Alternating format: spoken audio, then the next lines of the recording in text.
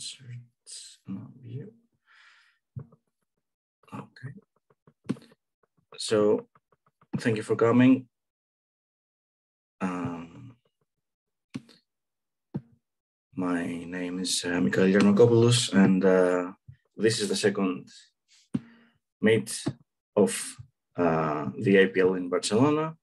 And uh, this uh, this time, uh, the theme, the the topic we'll discuss is about J, which is a modern math-oriented APL. So let's go. Let's get into it.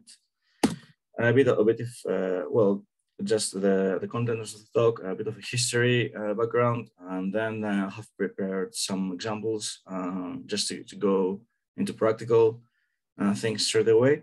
And then uh, you can ask any questions. Uh, I'll try to answer them. Maybe Bob can help or someone else if I get stuck. And then I have a slide with the references I've used, and thanks for the people that, that have helped um, my journey with uh, J. So let me minimize this one. Yeah. So J is, is, a, is a language which um, comes from, from APL and pretty much the, history starts around 1990 uh, when um, I think um, uh, Roger uh, and Ken were, were thinking of um, starting uh, an APL with ASCII glyphs instead of glyphs of APL. And then, sorry.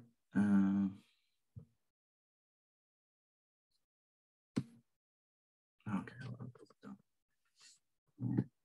So, uh, and then um, from what I read, Arthur Whitney, uh, the creator of the language K, um, in, in one day, she wrote uh, like a first version of uh, interpreter in C, which you can see uh, here. It's just one page, pretty much. It's a bit condensed, but um, I will share um, someone in um, uh, Y Combinator did the, the effort to decompress it uh, and it's uh, much more readable, but it's a bit longer as you can see. And um, so this was this uh, this uh, basic uh, version of the interpreter um, was the the raw material that Roger started working on, and then uh, Ken um, joined, of course, the effort. it was a joint um, work of Roger and Ken, and um, from what I read from the history, uh, at that time, um, Eric Iverson had uh, created the company. Um, yeah, I'm sure, I'm sure I can remember the name before it became J Software. I think it was called Eric. Uh, um, no, I'm, I'm, I'll have to to ask her to excuse me, but I, I can remember the first name of uh, the, the, initial name of the company had. So um, because Roger and Ken were working on J, uh, they didn't have like a, a legal uh, entity to, to host their project. So Eric uh, came in. So uh, the three of them in the end uh, joined forces. And afterwards, the, that company became what is known as today J Software. And um, and uh, well, the, the code uh, is being worked from the JSoftware team, but it's open source, so you can find the, their most recent uh, interpreter uh, source code on GitHub. I have put uh, the link here. And then, well, um, this is pretty much the whole history I have prepared.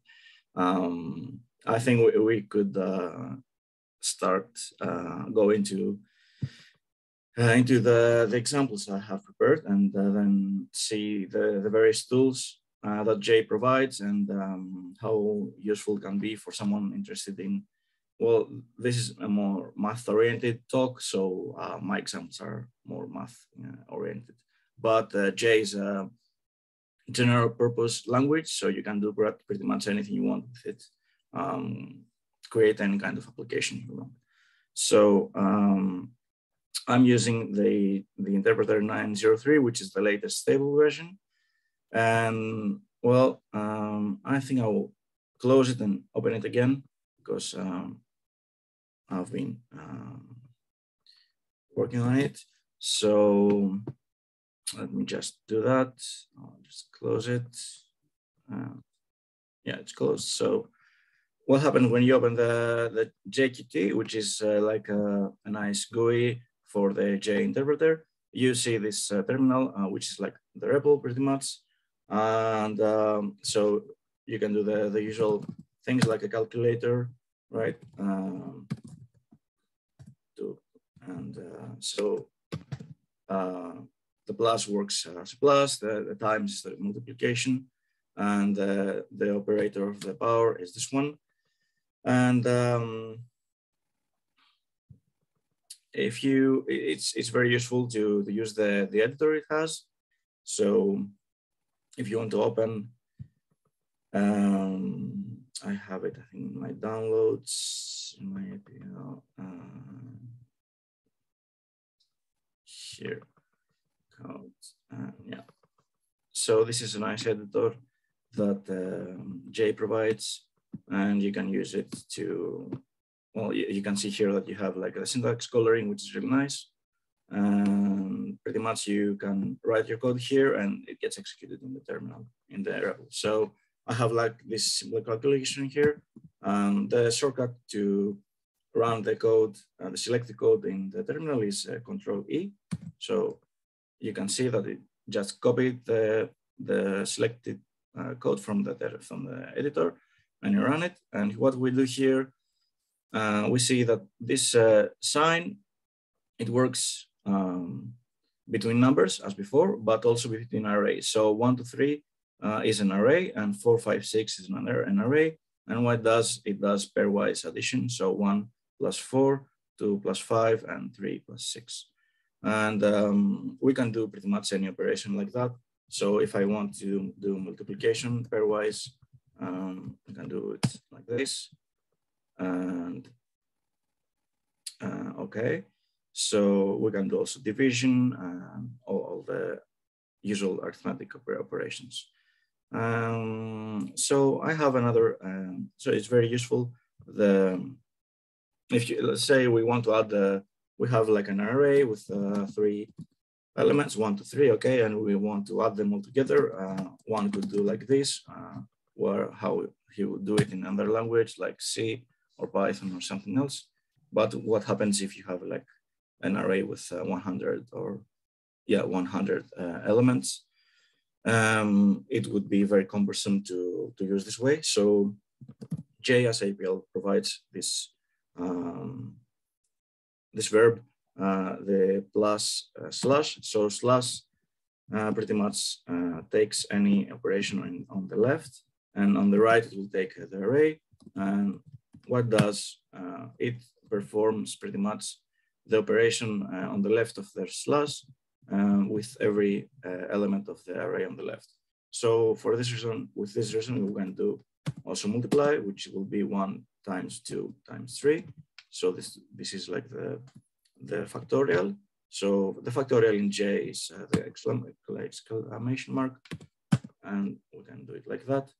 Um, I forgot to mention that um, in APLJ, uh, the reads the, the expressions from right to left, um, which is very helpful um, if you, uh, it helps us to, to avoid using parentheses but also can um, confuse us if you're used to, to the usual mathematical expressions. So let's say we want to do, um, let's try to do this operation, okay? And uh, let's, let's see before pressing what it would be uh, according to mathematics. So we know in mathematics that multiplication happens first and then addition. So according to math, we would expect that this would be two times three, six plus five would be 11. But in J, um, because it goes from right to left, uh, what will happen first will be 5 plus 3, uh, 8, and, and will be then multiplied with 2. So it should be 16 instead. And that's what happens. Um, so what I said before, let's add the first um, 100 numbers. How we can do this? Uh, there is a function or, or, a verb as it's called in J, um, iota uh, i actually, which is from the iota of APL, uh, which is uh, what creates a, a range from zero to the number you put. So if we put i dot 10, it will create an array of um, 10 numbers from zero to nine. So it's like the range function in Python, if you know Python. Um, and let's say we want to, to add all these numbers together. So we just do the slash uh, plus slash uh, i dot 10. And it will be from zero until nine. And we can do more numbers. Uh, let's see, uh, the first 101. Uh, so from zero until 100, okay? So this is uh, like, um, this is the problem they, they gave to Gauss. And as I, I said in my previous first talk, this is uh, uh, 550 50, so it's 5050 if I recall correctly. And um, we, we did it again uh, faster on the Gauss, which is nice. So I have some other examples here we can, we can check. Um, the first examples are taken from a very nice presentation uh, article that uh, Devon has written. Uh, you can see the link in the references. All right, so um, the, the dollar sign, let's see what the dollar sign does. So if we have a dollar sign and then we have an array, it returns three. So one could um, argue that this gives the, the length of the array. But then we have the, the hash, or it's called tally in J, that returns the same. And one could be uh, confused. So let's, let's create a two by two matrix and let's see how we do that. Um, well, the dollar sign pretty much uh, reformats an array uh, according to dimensions that you put on the left of it. So uh, two, two, uh, because we want a two by two uh, array. And then let's create with the i, iota, and let's put here um, four. So we see that we create the um, two by two, uh, zero, one, two, three. Now, if we, we just, we can also um, name the variables in J um, with two ways. Uh, the first way is the, the global um, refer, the global assignment, uh, which is um, this way. So let's assign a name to this one. Let's call it A, and it's uh, equals and, the colon. So this is the global one. Uh, it works in the whole uh, workspace, whereas uh, the local one um, is the equals and the dot.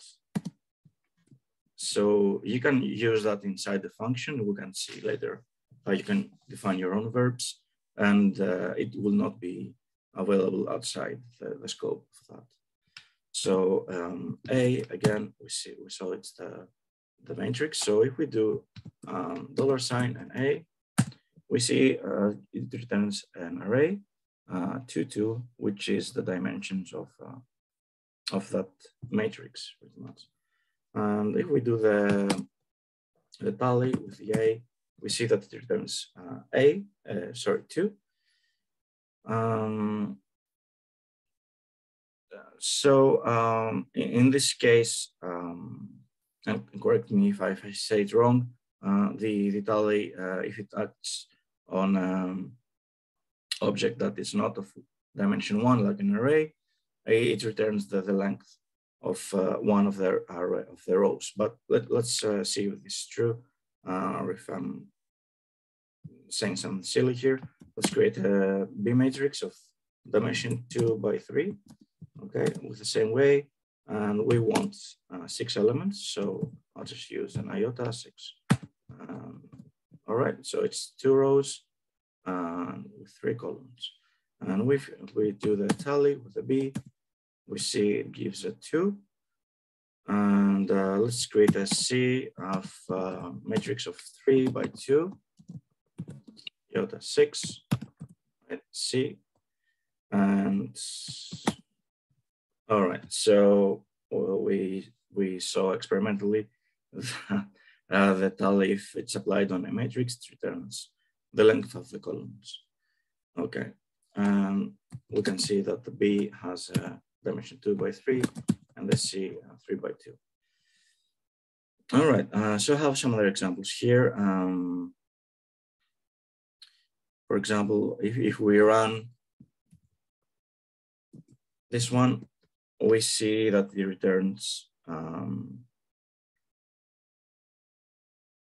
four, nine, four 99s. And I've done various experiments pretty much to, to understand how this works. Uh, we see here it has a comma. And we could do it without the comma and see what, what, what it gives. So we see that it gives a two by two matrix with uh, only one element, uh, 99. Um, so we, we understand that pretty much the, the comma uh, before, like acting as the last element of this uh, expression, um, we could say that flattens flattens out the, the matrix. So let's see if uh, we have the C. We see that uh, it does that. So uh, it pretty much flattens the, uh, the, the matrix into one dimension array. Um, well, we can create a matrices for bigger dimensions than two, or meaning um, that it will be like, uh, so these are two-dimensional uh, matrices, okay? We could create uh, three-dimensional matrices or four or whatever dimension you want. And, and there we would go into the weird um, uh, area of uh, tensor algebra and all that that could be used in, in physics or in uh, mathematics that have 3D uh, rotations and things like that. So let's create a, a matrix D of um, dimension three. And uh, let's say that it has um, two, three, four. Um, okay, so it will be a three by four matrix uh, with two two times. So you will see like uh, two uh, array, two matrices of three by four. So how many uh, elements we will need? We need 24. Three times four, uh, 12, and two times 12 is 24. So uh, the, and here we see uh, what I mean by a, a higher order matrix. So if we do the the dollars. Okay. Oh, yeah, Devon's here. So, okay, let's. Hello, Devon. Hi. Uh, thanks for joining. Um, so we were just exploring some basic matrices and some basic calculations and manipulations of matrices. And um, so, oh, we have a chat, sorry. Bob.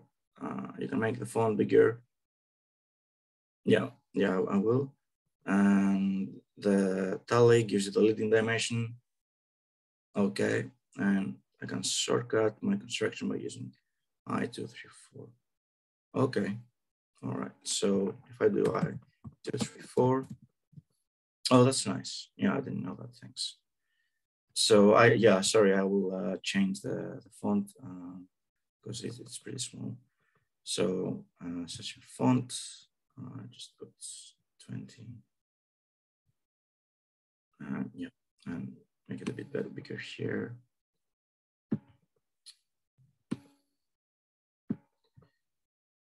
Okay, let's go down. Okay.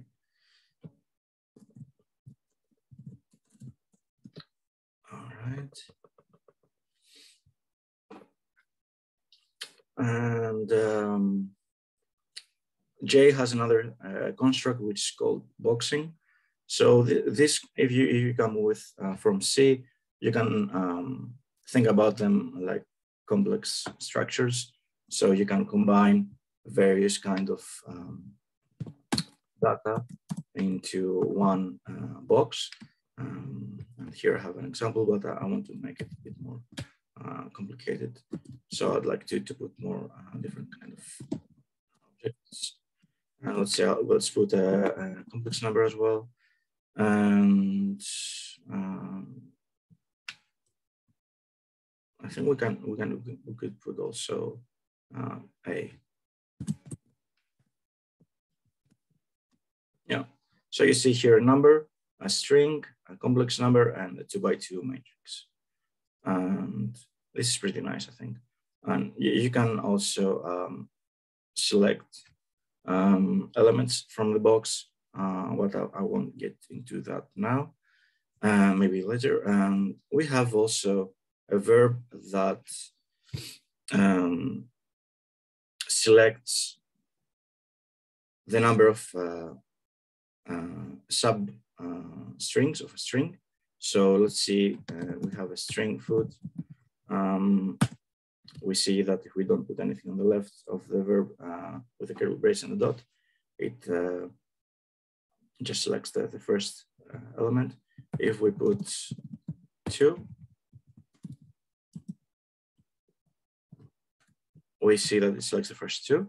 And uh, also we have also um, a verb that selects the, the, last element of a string, okay? Let's select again the same. So um, what it is. And uh, I have some other examples here uh, with arrays. Uh, you can use the, um, you can use actually the, the, same, the same the same verbs with uh, with arrays. So um, one, two, three, four, and one, two, three, four. Okay.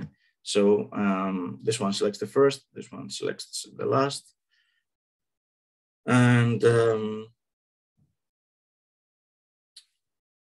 uh, the yeah. Also, we could also say that uh, mention that the negative numbers are um, the, uh, written with uh, the underscore. So um, should be true. Uh, true, true is uh, always one and false is always uh, zero, like this. And I have uh, done some other examples here. Um, let's see this example. so this is the division operator. And you can see here that pretty much uh, as we did earlier, we do the pairwise division. So two divided by three, three divided by four, and five divided by six. And we can do it here as well. Um, actually, I did it afterwards to demonstrate how it works and put it in a nice box. So we see that um, there's one-to-one -one correspondence. And what else we can do? Well, this has, these are like arithmetic examples. Um, let's say we want to calculate the powers of, of two uh, from zero until uh, 16. Um, this is like a very well-known number to the 16th uh, power. And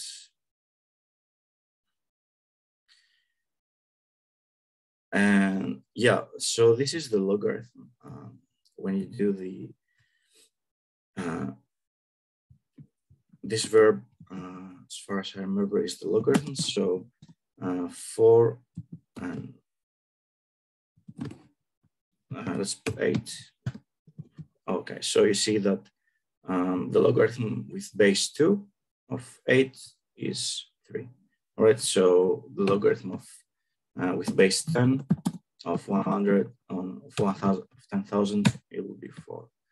And here I have um, applied it in um, two arrays. So I, we, we, can see that it accepts also um, arrays on the left and on the right. So you can do it at the same time as uh, adding two numbers or dividing uh, two arrays, sorry. Uh, yeah, here I have done more examples of that. And and this verb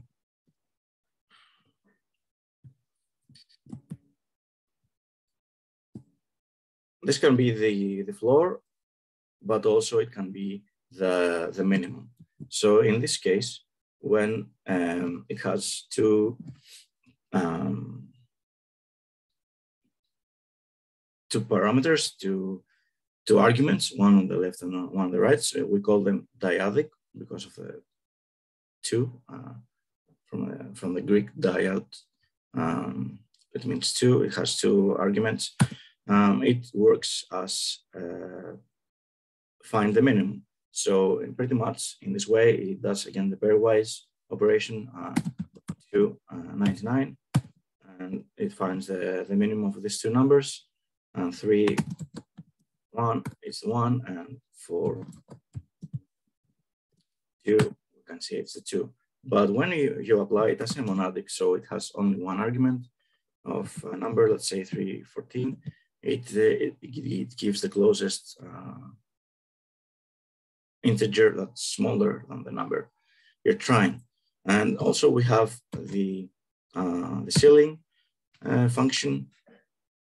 So I have here an example, uh, copy that, which uh, as expected gives us four because it's the next biggest integer than 3.14. So if we do, again, this example with, but with uh, the ceiling, oh, I did another example here, okay. I'll use this one. We can see that uh, 2 is greater than 1.1, so it returns 2. 0 0.1 is less than 0 0.5, so it returns 0 0.5. And 1 is uh, less than 1.9, so you get 1.9. So this is the maximum um, function pretty much. If you want to, to find which number is maximum between two, you can use this one this way. And now I have prepared some examples with uh, what I think is really nice with uh, J. You can do pretty nice visualizations. So there is a library called ViewMat, and um, I took an example from the gallery and played it around with it. So it's uh, it's a fractal. Um, think you will recognize it. Okay, so this is the carpet. I think it's called Sierpinski carpet or uh, something like that. And then um, if you if you if we want to visualize a very complex expression like either this definition of uh, y, which is this one, and well, um, a beginner or could uh, be a bit complex, uh, confused how this works or the, the last one, which we see. So ViewMat is a dyadic uh, verb that takes one thing on the left and one thing on the right. Uh, we could uh, use the very nice tool that's called Dissect in J, and um, I really liked using it, uh, preparing this presentation, and actually while I'm learning J, because it really helps me understand um, how the computation goes. And also um, this verb on the left, uh, the semicolon and colon breaks down an expression into the words. So if we do that, we can see that um, the tally with the dot is one thing together, uh, the power and the, the colon is one thing. So we, we can separate and we can also enhance our understanding. But let's see uh, what happens if we run this. All right. So you can choose um, various things as, uh, sorry, the detail of explanation. So I'll just put uh, one line because um, it can be very verbose if you want to, to explain things. So we can see here that we have uh, an atom, okay, the number, and then it gets applied on the iota dot and we can see what happens after the, the calculation of this actually thing. We can see that the box uh, becomes um, pink. So the result is this array, which as expected will have 243 numbers from zero to 242. And then uh, this computation goes into this complex expression here. And uh, we can see that it creates a matrix uh, of dimension uh, 243 uh, times 5. And we can see that uh, it has zeros and also twos. So it's from zero to two. It's like a, not a binary, like a trinary arithmetic. I'm not sure how we could call it. And then, um, and then the final uh, computation is this one. And we see here uh, an atom uh, comes in and we get the, the y uh, in the end. So uh, y is a, a matrix. Um, I went into big lengths here actually after that to understand exactly how this works so we can um, we can work uh, this step by step. Okay, so um, afterwards I uh, tried to dissect the expression where we plot the, the, the fractal, okay, so the, the second expression. The first dissect was the definition y, and then I run dissect again with, with this expression, and, and let's see what this gives. Um, sorry, I think I pressed it twice, or, oh yeah, yeah. So, um, so we see that this is a bit more complicated uh, thing. We get we have the y here. and this operator, what does it uh, returns the transpose of the same matrix. So we see that the original matrix was 2.43 dimension times five, and the result is five times 2.243. Uh, and then we see, if we go down, that we input here in this expression um, the transposed matrix of the, on the right and, and this y matrix on the left. And then we get uh, two, uh, 243 uh, times 243. So if, if we uh, recall a bit of our college algebra, we remember that if we multiply two matrices of dimensions where the uh, inner dimension is the same, we get a, a, matrix of the outer dimension. And that's what happens here, uh, as far as I understand. And if we go a bit more down, so we have uh, this matrix now, which is the result of the whole thing, this whole thing. Uh, and it's being merged with this matrix three by three, which uh, is the color palette pretty much. And those two are getting merged in ViewMat and we get the fractal. Um, so we might uh, have some questions like how exactly this word, verb works and is it indeed uh, matrix multiplication? Uh, but I'm sure uh, that um, dissecting uh, complex expression gives us more insights and it's very nice to have a, a visual tool to, to inspect our computations. And I, I really like uh, Dissect, so I think it's a real nice uh, feature of J. And here I played around with the fractal, so I created a, a Y3, and then a Y5, and then a Y general. So if we go a, a bit down, um, here we can see that um, this is a way to, to create a verb. So let's, since we came here, I can give a short introduction uh, into how you create can create uh, your custom verbs. Uh, the x and the y's are the arguments. the y is the right argument, and the x is the left argument of the verb. So we can see here that uh, I have defined actually the verb plot SERP. Let me actually uh, maximize this one. So um, I, I pretty much took the code uh, from above and because I was lazy and didn't want to keep uh, copy pasting things, I said, let's define a verb. So I took the palette uh, as defined the example, uh, the ViewMat, and the Y here, uh, the computation here, and the Y on the right. So um, if you, let's, let's run, let's uh, run this one actually. Okay, and let's run also uh, this one. And if we load the first one, can see that we get uh, um, kind of the same, but not exactly the same. I found out why, which was the reason, and the reason I found out was um, the number you had to put here was uh, powers of three. Uh, for some reason, uh, this uh, number three and this number have to be uh, powers. Uh, the one has to be powers of the other. So if we run this one, we can see we get a really nice fractal.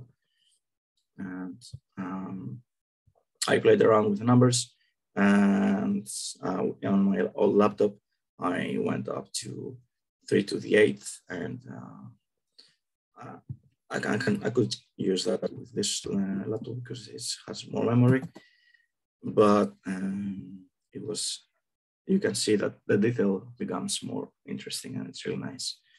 Um, we, we could actually uh, try this out on this laptop. I think it will, could take a bit of time, but uh, I hope it won't crash. Let's see. Okay, it's loading. Um, oh, okay. Nice. All right, so it works. It works. Okay, so um, I tried with uh, the tweaking the, the number here with five. So if we use uh, y5, we get uh, similar looking uh, fractals, but a bit different as you will see. So that a bit different. Uh, I think they have more colors um, than three. And if we inspect uh, the, the Y5 matrix in the terminal, uh, I think we will see it's different. Actually, Y5 is not a matrix, sorry. Um, yeah, a Y5 uh, 625. So yes, we see that the numbers are from zero to five. So it seems that we create different kind of um, arithmetic instead of binary or trinary, we go to the five digits. And here I I created a general um, to play around and see how it looks. Um, some. So this one is the well-known triangle, uh, Sierpinski triangle. Uh, we, if we use only zero and ones, if we use the three, we'll get what we saw earlier, the, the squares. Uh, the four, we haven't seen that, we can see that now It looks like this, which is weird as well. Uh, six. So you see, it's it's really nice that with J you can experiment and play around and uh, try to discover things that will be easier than doing it on doing them on paper, for example. Um, seven, um, you can see it gets a bit more weird as we go up. So if we go to nine, um, comes a bit, uh, I don't know, not, not very nice. I think that the, the best one is the, the three, uh, the, the, the three, yeah. So it's, it's this one, very well now. So, uh, well, okay, we saw some fractals. Uh, I've done also some plots. The other um, library that uh, J has is plot. And here's an example I took again from the gallery. It's pretty much the, the plots of uh, sine of exponential, of, of exponent uh, x, and uh, cosine of the exponent of x. So we see that it reminds us um, the exponential function and the the trigonometric functions as well. Um, so this, this in here uh, pretty much gives the range. We can see how it works and maybe draw a different range. Um, I 3J 1100. So if we do a smaller, um, like this, we see that it creates a range, uh, a range from minus three to three, and these are 10 numbers. So one, two, three, four, five. Actually, we can not count it, just do the tally and see how much it is. So it's 11 numbers. Okay, um, because we have the zero in between. And so pretty much it divides the the range, the, the interval, interval from minus three to three into 10 uh, points. And okay, so let's, uh, we saw that the, this plot um, look like that. And we can see that the x uh, goes from minus uh, one to two. And this is a bit weird. Uh, I was expecting to be from minus three to three. And let's see if we put 10, how it will look like. So we see that becomes more weird. Uh, okay, so we see that uh, we have like an exponential fall and then some kind of oscillations. Same here, but doesn't look really nice. Um, so afterwards, I played around with uh, the ranges I saw, I showed you. Uh, so we can see uh, iota of uh, ij10. So um, ij10 is a complex number, okay?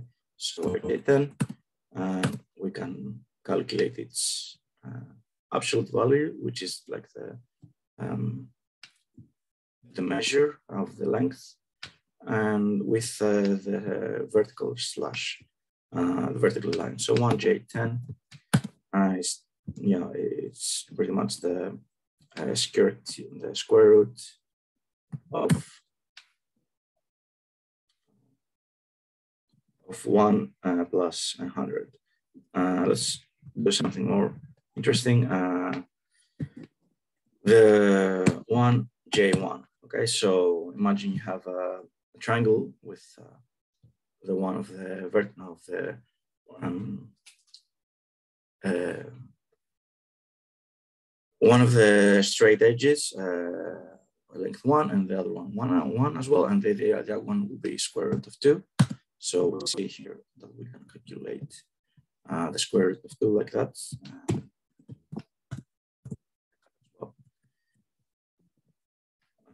Um, here have another dissect of the plot. Um, we could have a look again. And we see it's a bit more complicated as well. Uh, I have put you to, to show um, where some um, idiomatic uh, expressions of uh, J are uh, shown, the hooks and the forks. I won't get into those in this uh, talk because they're a bit more advanced. Um, but we can see that again, um, dissect, um, give us some nice insights. So I, I did another calculation from physics. Um, we have uh, the gravitational acceleration, which is around 9.81. And let's say we want to calculate um, in uh, some seconds uh, how many uh, meters you will be below the level of the point uh, you, you threw the ball. So this is the function I defined. It's the height, I call it height, but you could call it a y, uh, like the, axis, uh, the y axis. So it's uh, one half j and the square of the time. So I put y here because as we said before, the uh, argument on the right has to be called y.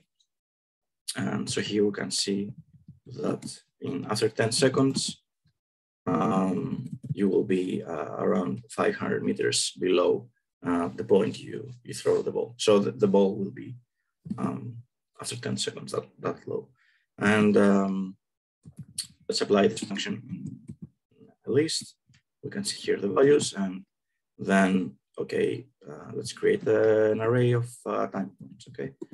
Um, we did that, and then we created the array of the function applied on the time points. We did that as well, sorry. And then I thought plotting it. And we're expecting it to look uh, like a x squared, where like t squared where times. Um, okay, so it's the second order, second uh, order polynomial uh, form. and it grows like that. Um, uh, I have prepared another example from um, uh, from the uh, gallery again. So there's a way to calculate the gamma function, which uh, pretty much gamma function is like a generalization of the factorial, but for real numbers. And we can uh, define it like that. So uh, if we say gamma uh, applied on iota 10, the first 10 numbers, we see that we get this underscore that will explain what it is, one, one, two. So this is six, uh, three factorial, four factorial, five, six, seven, eight, okay. And uh, let's put 12. Yeah.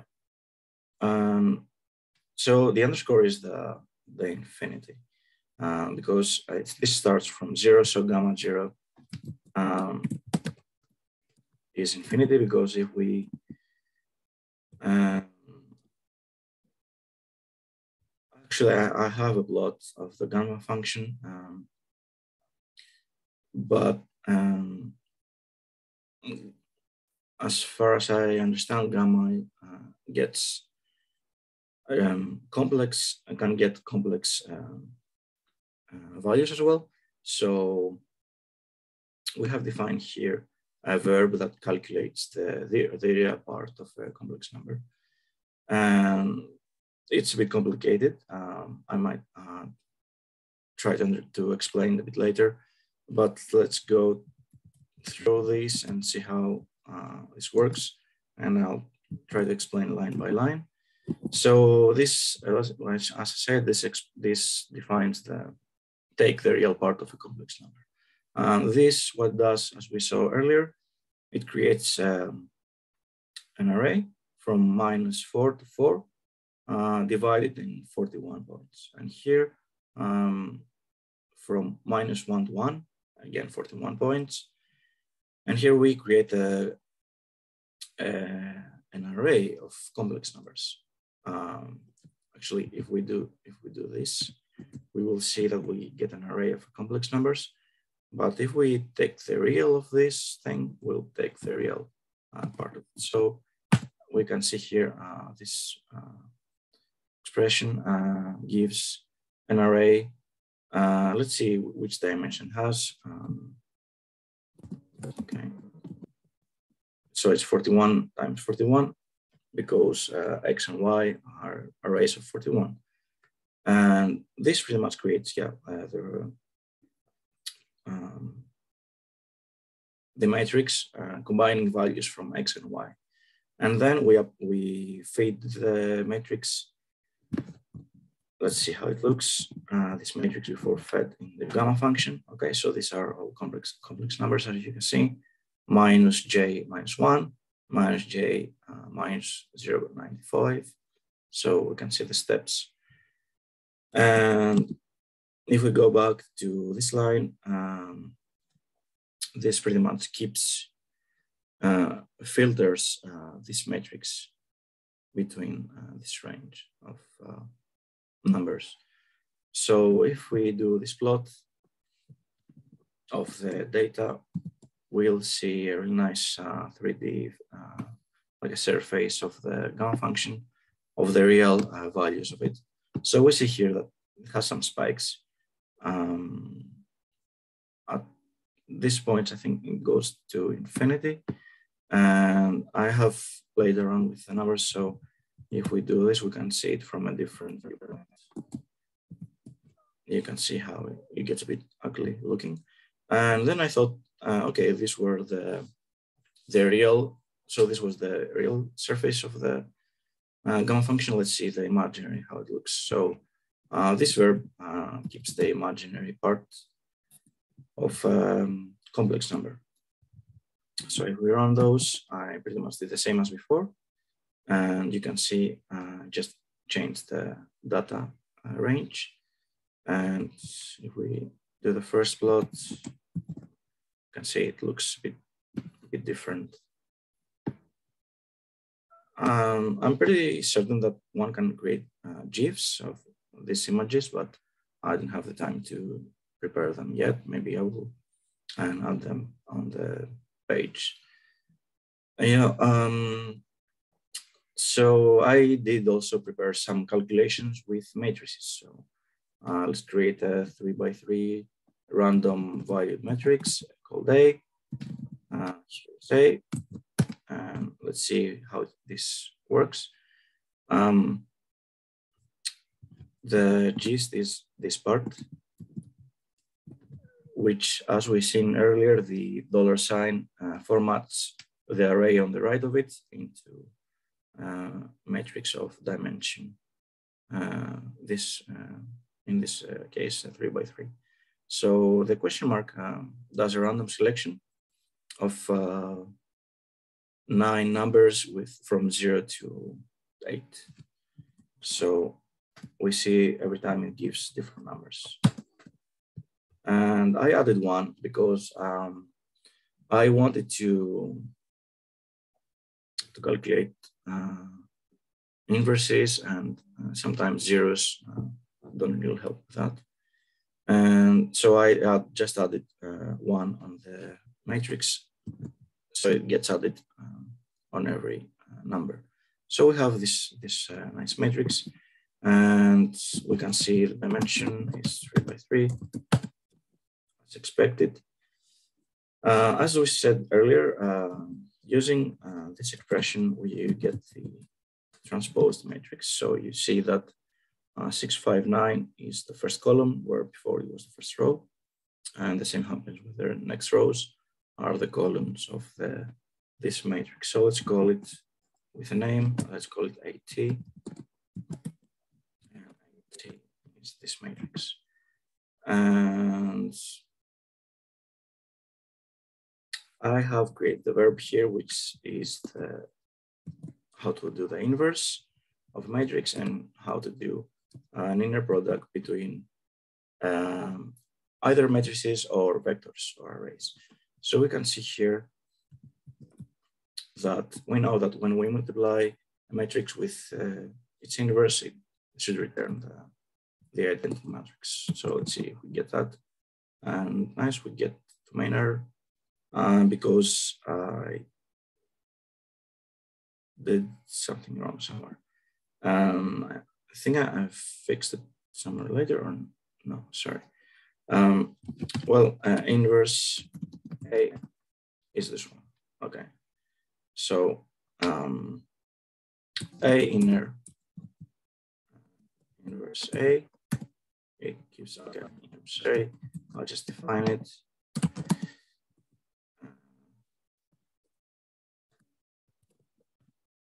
Yes, and then inner, it gives the minor. Um, most likely it's a mistake I, I, I do. Um, yeah, I got, sorry, comment. Thank you, Santiago. It was nice seeing you. I'll uh, upload the video on the YouTube so you can uh, look at the rest of it. Thanks. So um, let me see actually this example with uh, the inner doesn't so the inner product uh, seems not to be working for some reason. Oh, okay. I forgot the the multiplication. Yes, you're right. You're right. Um, so yes, thanks, Bob.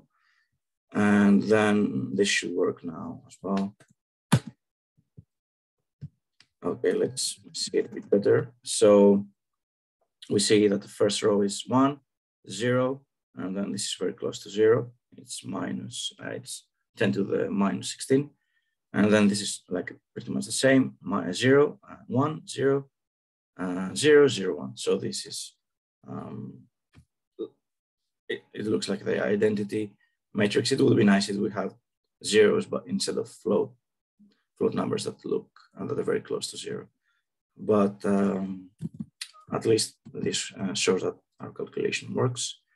And then I should, I should have, yeah, I forgot to, to copy the, the multiplication sign. So we saw that the inner product of uh, two arrays as well um, works. And I have um, the confirmation here.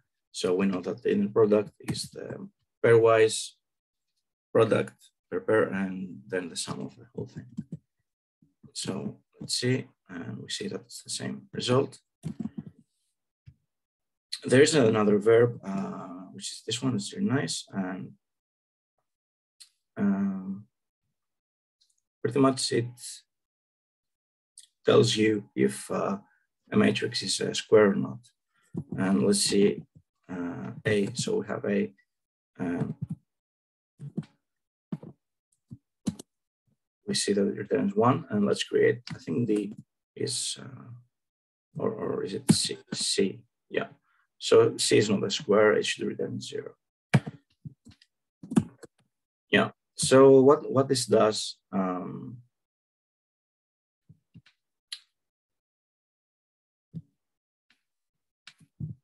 let's see in dissect actually.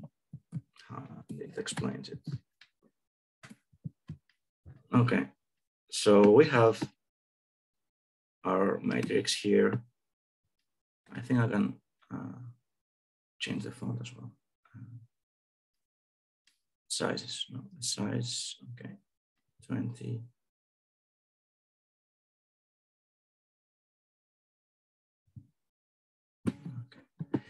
I, I just uh, do it like that. And for some reason, doesn't let me to make it bigger, but it doesn't matter. So we have C, it's a three by two matrix, and we get the, the dollar sign. So we get dimensions. And then, so this is an array, okay? Uh, the result of the dollar sign on the C it returns the array 3, 2. And then we have the slash and with equal. So what does it applies the equal sign in an array with three, two elements, and it checks pretty much if the dimensions are equal. So if we put this into the array one, two, three, four, it returns zero. And if we apply it into one, one, one, it returns one. If we apply it into one, one, one, two, again, zero. So it's a nice trick to check when a matrix is uh, square or not. And um,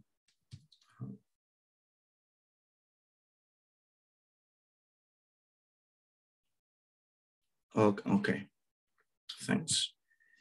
And I have also uh, another example, uh, calculating the determinant of um, a matrix, okay? So we have uh, this verb, which is calculating the determinant, and let's create, uh, let's calculate the determinant of this matrix, which is minus two, and then, well, um, if we see the matrix, the two by two, it's this matrix. So we remember that in the two by two matrices, the determinant is the uh, product of the main diagonal elements minus the diagonal of the uh, not uh, main uh, diagonal elements. So it's uh, four minus six, uh, which is minus two. Um, and then I, I, I did two examples with polynomials and just, I'll just show um, the roots. And it, it's pretty nice uh, that J has a very nice expression. So you have, uh, let's say we want to, to solve the very well-known um, polynomial uh, x squared plus one equals zero. Okay, so this has two roots and both of them are complex. So uh, how do we do it in J? We just use the um, verb P dot and then the, the um, coefficients of the polynomial. So we see here that we get a box array and um, with the two roots here. Um, I couldn't find, uh, actually I, I, got this from the book of a book uh, of Ken, uh, Exploring Mathematics, think it was called. and I couldn't understand why it gives uh, a number, like the first um, coefficient on the first box. Because I have another example I will show now with a more complex um, polynomial. So this is a pretty nasty one if you want to do it graphically because uh, the as you can as you as you will see the roots are between um, one and two. So yeah, between one and two. So if you plot the function from um, minus five to five, uh, it does a very delicate uh, oscillation uh, close to zero and you cannot see it graphically. So you have to, to graph it. If you want to, to see the roots graphically, to graph it uh, from minus, from, uh, uh, from zero to one. And then you can see the function uh, crossing the x-axis. So yeah, um, Bob, I don't know if you can explain why p dot and coefficients gives the the highest coefficient of the highest power? Do you, do you know? Uh, I couldn't find that. Okay, yeah, I'll, I'll look into that more. Thanks. Um, so, yeah, I I didn't have uh, haven't pre prepared something else. I'm not sure if you would like to have any other questions. So this is the questions uh, slide.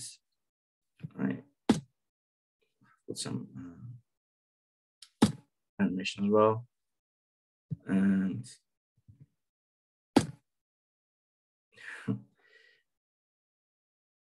so feel free to ask. Uh, I know that many uh, or most of the people here are more experienced in J, but um, I don't mind if you have any questions. Um, if not, uh, these are the references. Uh, Devon, thanks for the excellent uh, minimal beginner J article. It was really nice. I mentioned before you joined that uh, uh, it really helped me with this presentation, uh, with the first examples. And then I took, um, as you can see, with the most examples from um, the J page, and I did the video reading uh, from J Primer. And actually, this is a nice article from J Roger about the implementation of J you can check. And this is really nice uh, vocabulary of J, which uh, pretty much has every verb and every explanation, which is so well made and really helpful for beginner and or not uh, so beginner. So you can press and it explains what it does, and has examples, and um, it, it's really nice. And you can see also that you have um, so the color code, verbs, adverbs, conjunctions, nouns, copulas, and control operations. So you can see similar to other languages, expressions like assert, else, else if, if, throw for uh, exceptions, try, catch, uh, while, cases, go to, continue, for, return, and break. But um, I believe that most of the times uh, using the J way of writing programs, it's much faster for the J interpreter than using the usual um, C way of or um, programming. Uh, P. Yes, I, I will. I will after the presentation. I think it would be better to do it afterwards. Thanks. Um, and then, oh, sorry, uh, delete that. So yeah, thanks to all the, the very friendly and welcoming uh, community I found on the Discord server and, and Bob uh, to help with uh, the questions uh, I had uh, during this time I was preparing the presentation and Devon for his article and for other articles he's written, really nice. And actually, the J Software website has more, so much material, so many, so many articles from many um, experts in J uh, that you can study forever with it and become better and better. And thank you all for joining as well. So uh, we have some some more time if you if you want. I was planning to do it like one hour and a half. I don't know if you want to do a discussion on what I try to present, or if you have any uh, questions. Well, I could I could look the the P. Um. Yeah, the roots. So we can see here uh, that it returns uh, a multiplier and the roots. So two and the roots. And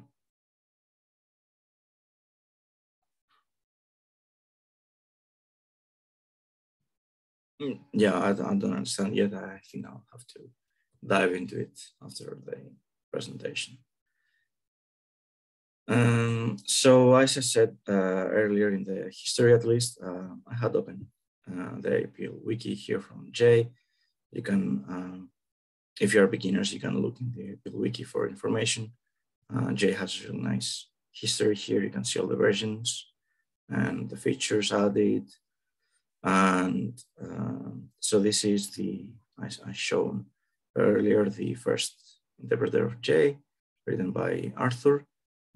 Um, page for Arthur on APL wiki. Um, page for Ken, uh, Roger, and Eric. So um,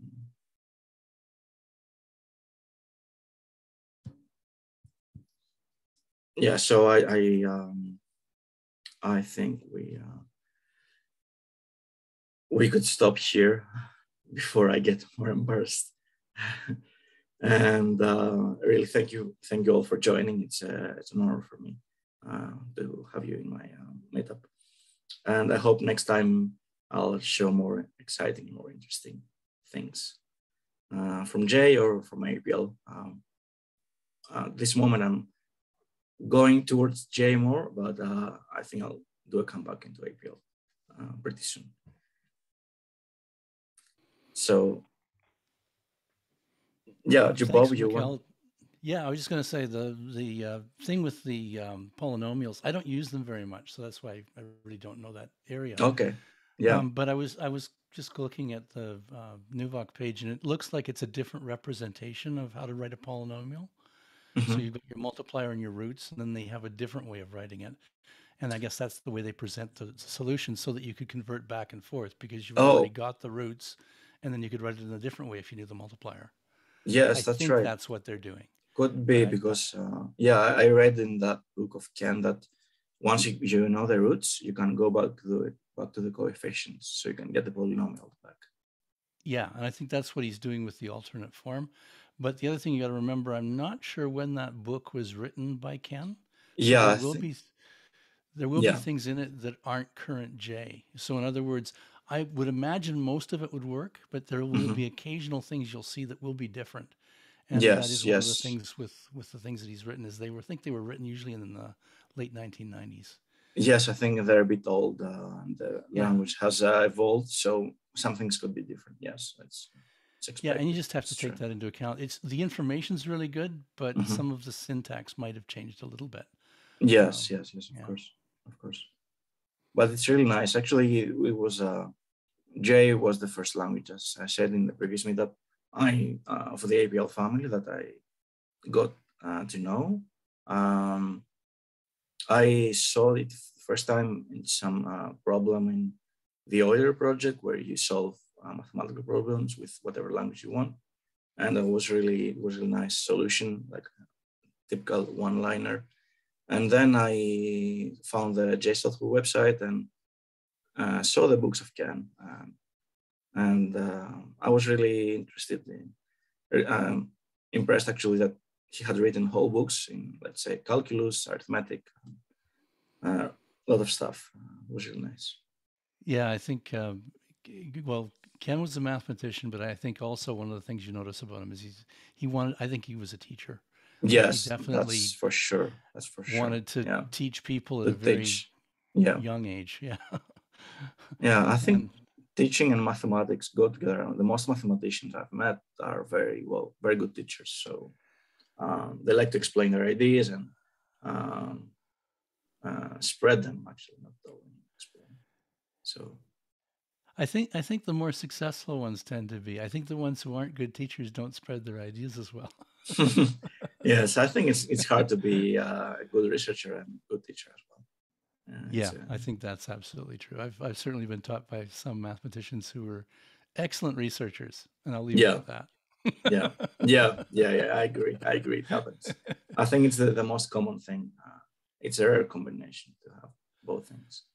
Yeah, and and I think Ken was one of the people that had both, and that's why mm-hmm. uh, a lot of his ideas have endured, and the fact that he ended up putting together a language. And, and originally, his idea of J was not, or APL was not as a computer language; it was as a notation. Yes, that's true. Find out a way to teach people about linear algebra and, and mm-hmm. tensors, um, and he had didn't really have a way to express it that he thought was was useful. And as a result of those experiments, he ended up creating a computer language because it turns out computers can understand tensors even better than people do. Um, and can keep track of all those things where people have trouble when they get up above, you know, three and four dimensions. Yes, um, yes. You start to visualize, and visualizing, I don't think always works in those areas. I think we are hard hardwired to be able to visualize until three dimensions. From there, from four and above, I think it's hard. It gets harder. Uh, and I think humans. For both APL and J, that's one of the powers of them that um, it allows you to experiment in those areas. So you start to develop a, a feel for what's going on. You know, yes, it's almost, yes. and sometimes it feels it's a bit like quantum mechanics. You yes, don't exactly know what's going on. Yeah. But yeah. after a while, you start to get a, an intuition about what might mm-hmm. be happening. Mm-hmm. Yes, it's and I think. The, the experimentation you get to do with the languages on a computer really helps that. Um, so it starts to make you, if you can't visualize in three, in four or five dimensions, um, perhaps you can have an intuition about what's going to happen in those areas. Um, and I yes, think that's one of the power of all the array languages. They do that for mm-hmm. you. And I think I've found in the JSoftware website some articles, and I can't remember the username, the name of the user, uh, but he's done a lot of work uh, with tensors using J. Um, uh, I think Riemann geometry and maybe general relativity stuff as well. Really interesting things. But maybe you know the name, but um, well, there's there's a wiki contributor. I haven't talked to him yet, but I think his name's Thomas Allen. Yeah, yeah, maybe it's Thomas. Um, and and maybe, he's, yeah. he's almost using parts of the wiki as a as a way to post his experimentation mm-hmm. and his results. Yes, yes. I, I, I, am looking forward to talking to him at some point because he's he's obviously doing some really interesting things. Mm-hmm. He's got much better understanding of tensor geometry and stuff than I do by miles. Yes if yes, you can measure yes. it in miles. Um, it may be, you know, parsecs. I don't know, um, but it's it's completely. It's really interesting, and he's using a lot of the stuff that you showed with plot. He's mm-hmm. using that to be able to show his results. So he's being, mm-hmm. but only over, um, I would say, a part of the tensor. So it's interesting. He's like it's like he's taking snapshots of different views of it. Oh, that's nice. Yeah. Yeah, Yeah. it's kind of interesting to see what he's doing with that. As I said, I haven't talked to him, so I don't have a good understanding of what he's doing. Yes, yes. That's what how he's approaching it, which is pretty cool. And he's using it experimentally. There's no doubt about it. He's he's trying things out and getting results and posting his experimental results with it. That's um, real nice. So there's, yeah. It becomes a really good tool in some areas for sure. If mm-hmm. you can um, if you if you get comfortable with the language, it becomes much easier to experiment. Um, and I think I, I find that with J. Um, I find with J, there's a few things that J does better than APL because it was sort of Ken's newer version of APL. Yes, yes. Uh, Dyalog has since incorporated some of the ideas so that you can from J, yes, from J. Um, and then there's of course BQN, which is the uh, mm-hmm. Marshall mm-hmm. Lochbaum's new version, um, which uh, looks a little bit more like APL because the glyphs aren't uh, ASCII. Yes, yes, um, I remember. But he also has other things that he can do that J um, has has trouble with, which is the very high order functions, where you're trying to do things like arrays of adverbs and then applying them as arrays. Oh, okay. You can do that a little bit with J if you if you really get into it, but I think it's something that uh, Marshall's been able to do with BQN. Now BQN's just starting out, so it's very experimental. Mm-hmm. Yes, yes. Yeah. And uh, regarding the, the tensors and all that, I remember I had found um, a very interesting paper slash book of uh, uh, Chaitin, that mathematician, the Argentinian mathematician. I, uh, he wrote in APL 2 back in the 1922, and he did some calculations in, with tensors, uh, general relativity, Maxwell equations, uh, quantum mechanics, and all that. And he did some plots, like primitive plots uh, with ASCII symbols. I'm, I think it would be really nice if we could do that, if we could port that um, ideas and calculation into J uh, with the, the plot or the ViewMat and all that visualization tools would be really nice. Uh, well, in a lot of cases, it's it's more a matter of understanding the underlying mathematics because once you do that, Yes. The yes, conversion yes. to J isn't that hard. It's already mm-hmm. set up to understand yeah. arrays in multiple dimensions. Yeah. You do have to know the mathematics well enough to know how to Yeah, of it. course. If you don't understand the, the physics or the mathematics behind it, you cannot go forward to code it. So, yeah. Which is why I find Thomas's stuff so interesting because I think he's in that area where he mm-hmm. understands the mathematics the background. Well, and now he's mm-hmm. using it the, the tool that way because he he knows what he's he's exploring in the mathematics and then using the tool to basically record stuff. Yeah, cool. yeah, yeah, yeah. He has the theoretical knowledge and he's applying the tool in the theory you know. So that's uh, yeah, a really nice application of J. Yeah. All right. So uh, it was really nice talking talking to you, and uh, thank you again all for coming. Um, I would like to, to keep you more uh, even if I, I really like your company. Um, so uh, yeah, I'll I'll um, I'll plan for for February. Uh, most likely, it will take me uh, a couple weeks to, to plan it. So uh, I guess it will be at the end of the month again. Um, That's it. Was a good presentation. It's it's very difficult to do presentations. Yes, it, it takes time, and I was a bit busy lately, but I I tried to, to do it as good as possible. I'm not very happy with it, but okay. Um, I'm glad you liked it. you're you're always your worst critic. I thought you did very well. Thank you very much, Bob. Thank you. all right, thank you all. So uh, have a nice night or day uh, wherever you are, and see you soon. Good night. Bye.